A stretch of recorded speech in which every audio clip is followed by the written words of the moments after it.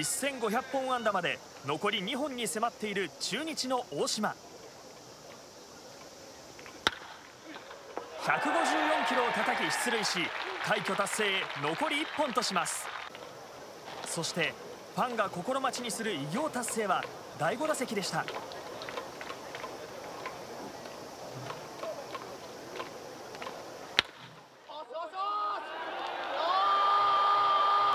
史上127人目となる1500本安打を達成。